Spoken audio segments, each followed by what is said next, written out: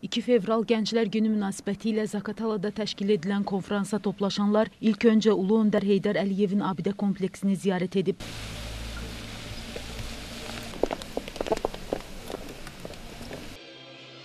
Azərbaycan dövlət himninin ifası ilə start verilən konfransda isə gənclərə həsr olunmuş film nümayiş etdirilib. Çıxış edənlər gəncləri təbrik edərək ölkəmizdə və rayonda dövlət gənclər siyasətinin icrası istiqamətində görülmüş işlərdən danışıb. Əsası ümummilli lider Heydər Əliyev tərəfindən qoyulmuş dövlət gənclər siyasətinin Prezident İlham Əliyevin qayğısı ilə uğurla həyata keçirildiyi, bu qayğı sayəsində ictimai-siyasi həyatın bütün sahələrində gənclərin rolunun artdığı diqqətə çatdırılıb. Tədbir çərçivəsində rayonun ictimai-siyasi həyatında mühüm rol oynayan bir qrup gənc mükafatlandırılıb. 2 fevral Gənclər Gününə həsr olunmuş tədbir konsert proqramı ilə davam edib.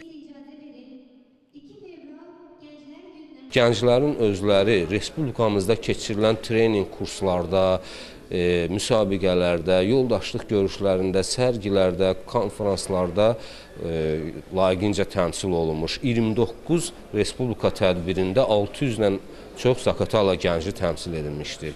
2018-ci ilin e, Gənclər Forumunda da 16 nəfər Zaqatalanı layiqincə təmsil etmişdi. Bütün bunlara görə biz e, inanırıq ki, 2019-cu ildə də gənclər idman sahəsində ölkəmizdə çox böyük tədbirlər aparılacaq və çox böyük bizim e, diqqət və qayğının nəticəsində yaradılan şərait nəticəsində Zaqatala rayon idmançıları, gəncləri yenə çox böyük nailiyyətlər əldə edəcək.